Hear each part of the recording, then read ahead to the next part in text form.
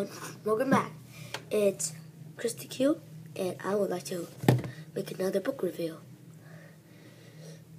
My first video since 2012, and I would really like it if you like, subscribe, and please comment in the comments below. You see, the Shatterproof is the second newest 39 Clues book. Sorry, I have a cold. It talks about when Amy and Dan try to steal the Shatterproof. And Erasmus and Jonah are uh, trying to track Luna Monto Vesper 5.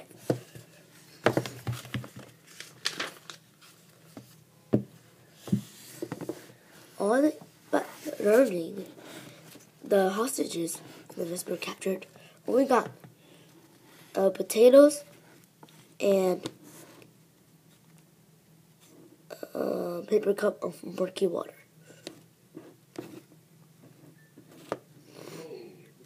That's all. Alright, I gotta go. And see you later.